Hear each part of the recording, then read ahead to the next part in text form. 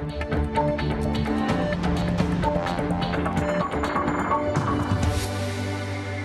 El turismo de cruceros sigue en racha y aseguran que este año continúa siendo el destino turístico por excelencia. Sigue siendo una forma muy interesante de ver mundo a unos precios muy económicos. Entonces, hoy en día, incluso con la crisis, todas las personas miramos mucho el dinero. Entonces, los cruceros es una opción. Y además es que la cantidad de compañías que hay es infinita y la cantidad de precios que hay es infinito, con lo cual es muy difícil no encontrar un producto con, para un pasajero a la medida de sus necesidades económicamente hablando. La oferta es amplia y también las rutas. España con 7 millones y medio de cruceristas y es el cuarto país europeo con mayor consumo en el sector. Los primeros, ingleses, alemanes e italianos, bajan de la embarcación y nos cuentan que es fantástico. Muy bonita.